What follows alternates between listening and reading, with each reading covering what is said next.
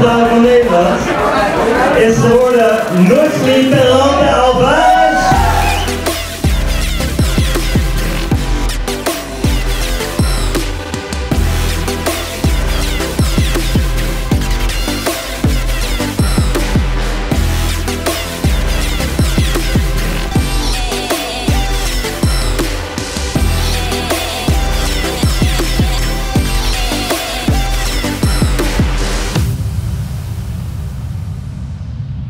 FHM 500 is powered by Tobacco.